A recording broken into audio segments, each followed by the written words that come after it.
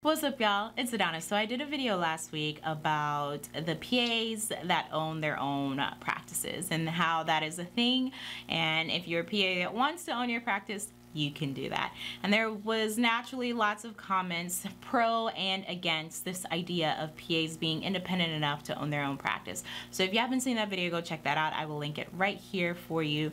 Um, and then you can, you know, leave me a comment on what you think about that. But from those comments, I saw things about like PAs should not be in existence or um, PAs provide inferior care because they only go to two years of PA school, um, three sometimes, versus the four years of med school and then residency, however long you may go through your residency.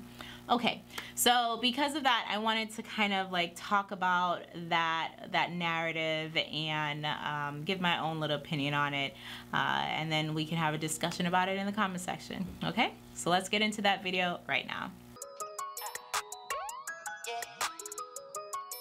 What's up you guys, it's Adanna, welcome back to my channel. Okay, so like I said, I heard all of these various different narratives about like the what PAs are, what they can do, their lack of knowledge, the fact that they're bad providers and they provide inferior care and blah blah blah. Okay, and you know, I'm very much a PA advocate. I am pro PA because I chose this profession um, and I love it and I love what I do and I love the fact that I'm able to see patients and I, I am, you know, to be honest, I do have a sense of autonomy and there are things that I'm able to do on my own and there are things that I need to rely on my attending for and that's okay and I'm fine with that. And so with that being said, like this whole narrative about inferior care is like complete BS, okay? There are tons, tons of patients that will absolutely disagree with that narrative that PAs provide inferior care. And then there are tons of patients that would say the opposite, that that narrative is true. But guess what? It all depends on the provider that you get. And with all of these statements and comments and things that are being made, a lot of it is provider specific. I hate the fact that we keep making these broad statements about PAs or the PA profession or MDs and the physician profession. And it's like, how are you taking this one experience or the, these couple solitary experiences that you may have had and then bring it across the board. Like, it just doesn't make any sense. You can't do that in life with like simple things, so why do it with a, a, particular profession? It, it makes zero sense. So I first wanted to get into the fact, like after I did that rant, first wanted to get into the fact of what a PA is, right? So if you don't know what a PA is, a PA is a provider. But essentially, I feel like the best way that I've kind of thought of how we are trained and how we are utilized in hospitals and in outpatient settings is that we are an extension of our attendings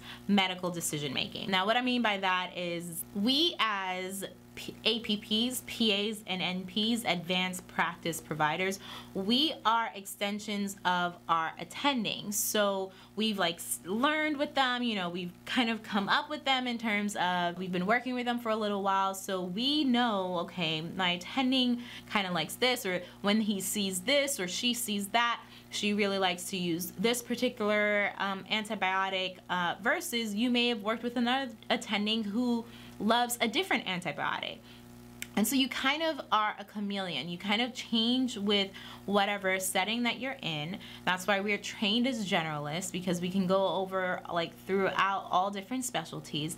But at the same time, when we're spending years in a particular specialty, we learn what the the non-zebras are, right? What the, the, the common things being common. So common things being common, you know, if somebody has a small bowel obstruction, I'm going to make them NPO and I'm going to put an NG tube in them so that, hey, you know, they don't aspirate and die.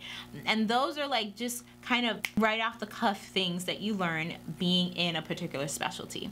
So we are trained as extenders. Now, I've heard the statement that PAs uh, or um, APPs equal are the same as residents or we're like lifelong residents meaning that um, the residents come in and they are learning under the tutelage of an attending. They're not making their own decisions per se um, but they are learning they're running things by their attending and that is essentially what the PA is doing. Now I can see why that argument is being made and I can see why people say that and I can see why some may disillusion to that but let me like educate you like by no means are we we the same as a resident physician. No, we're not, okay? We are PAs.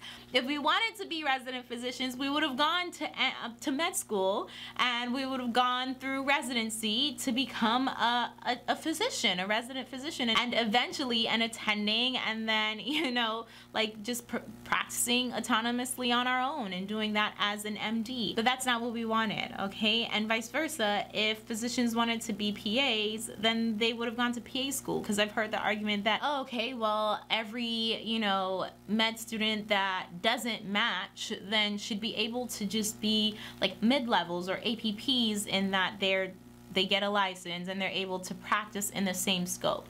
Okay, and so, all right, cool, whatever. That's an argument for another day, but if they wanted to be APPs, they would have gone to school to be APPs all right? It, it just is what it is. It's not like our profession is not like a fallback okay? This is not a fallback profession. It's standalone on its own. Like don't don't do that. Don't demean like what we went to school to to learn and to be just to be like a fallback kind of decision okay? That being said again you know when it comes to residents they are trained by their attendings to make to learn how to make their own decisions because they're going to be doing that in the future. So uh, we're learning like how to do a particular procedure while they're learning, you know, okay, well, this is the approach that we're taking and this is why I took this approach. The, the reasoning behind a particular approach. And then they can determine on their own in their future when they're the ones making the decisions why I'm going to choose one approach over another while we're learning the basics of the particular procedure okay so that's that's how it is. It's different. Our training is different. Our knowledge base is different. And that's okay. There is a space for all of us okay? So this whole like us fighting or this like you know PA shouldn't be in existence or APP shouldn't be in existence thing like it's just so ridiculous like I get why some people are salty. Okay, you're seeing somebody just go to school for two years um, and they're making very good money while you're in residency, uh, not making as good money. But at the same time, you're gonna be making good money like two three times what they're making in the future so why why are you so salty like stand alone in your space and in your area and where you're you're working and what you're working towards. Um, and they'll do the same. I think all of these decisions or these the different feelings around you know what PA should and shouldn't be able to do or the care that they give is all based on the provider so ultimately, what I really want to leave you guys with is the statement that quality of care is not based on the career, but it's based on the provider.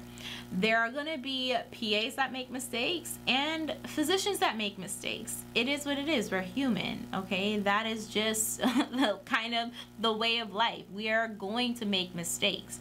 We're not perfect. But with that being said, it's what you do with those mistakes. Are you going to learn from them or are you going to like brush it off and be like, you know what, I'm still really good at what I do? Because that, the that point where you decide what you're going to move on to from this mistake, that is what makes a good provider.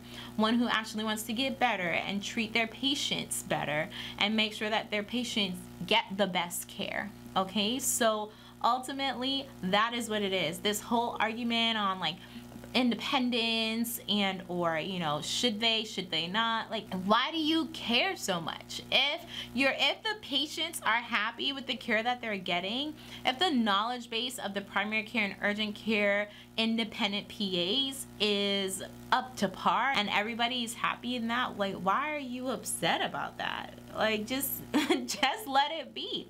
The patients are still getting good care because their providers are good okay? So i just like that is ultimately my thing. I don't want us to sit up here and just be like, oh, okay, just because you're a PA, you're gonna give inferior care, because that is not true. Okay?